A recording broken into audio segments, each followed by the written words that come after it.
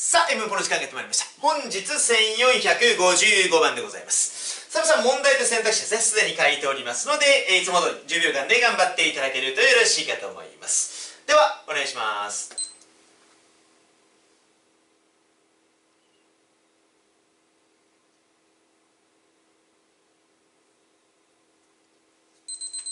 さあ、いきますでしょう。では、これ空所の右側とですね、選択肢。えー、どんな形を取るのかというところが皆さんポイントになってるんじゃないかなという感じがいたします。で、皆さん、メイクシュア、あ選択肢2番のところからちょっと先に行きますが、皆さん、メイクシュアときたら、後ろ、えー、皆さん、この形を取りましたよね。えー、これですよね。make sure that SB、えー、ということです。まあ、手話ということですから、あ確実に、えー、必ず SV するということでよろしかったかと思います。そして選択肢3番、ネバーフェイルですね。皆さん、ネバーフェイルもですね、熟語集なんかに載ってますよね。ネバーフェイルという不定詞で、えー、必ず V する。まあ、to 不定詞するという感じでよろしいかと思います。こうですね。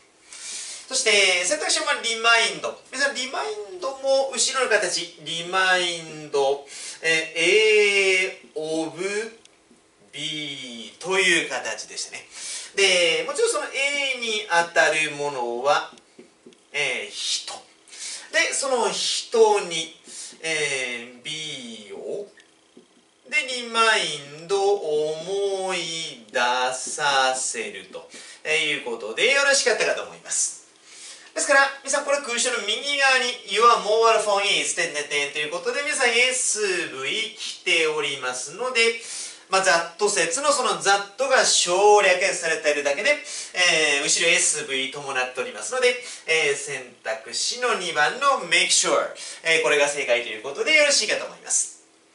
で、皆さん1番のキープはじゃあどうなんですかっていうと、皆さんキープはですね、まあ、キープを見たら SVOC 第5文系という動画を以前に撮影させていただいております。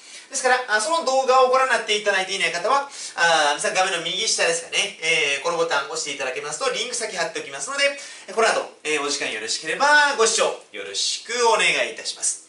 そして、えー、この辺りもですね、あの、熟語、もし知らないものがあったら、ぜひ、えー、ノートを取っていただいてですね、えー、ノートを取った後は、あ赤シートで隠して、スラスラ言えるというところは皆さん相変わらず徹底していただけるとよろしいかと思います。いきますかね。